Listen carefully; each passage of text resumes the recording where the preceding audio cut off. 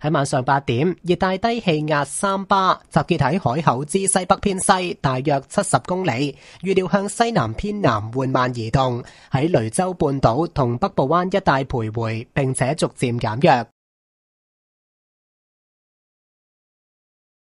At eight p.m., tropical depression Sanba was centered about seventy kilometers west-northwest of Haikou. It is forecast to move south-southwest slowly, lingering over the vicinity of Lazio Peninsula, with Beibu Wan, and weaken gradually